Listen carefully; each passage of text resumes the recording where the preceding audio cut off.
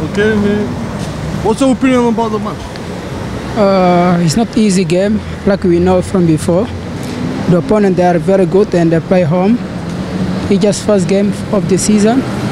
I think it's tough, but uh, like I say, it's the first game, so we'll be prepared for the next match. So it's not bad point. We take one point away game, so it's good for us. How are you physically? Physically, we look good. Like I say, it's the first match, so we just get ready for the next one.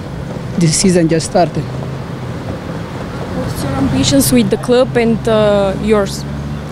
Our ambition is to to go to Liga Europe. We're looking forward. It's not easy, but we all we all try. Thank you. Thank you. No problem.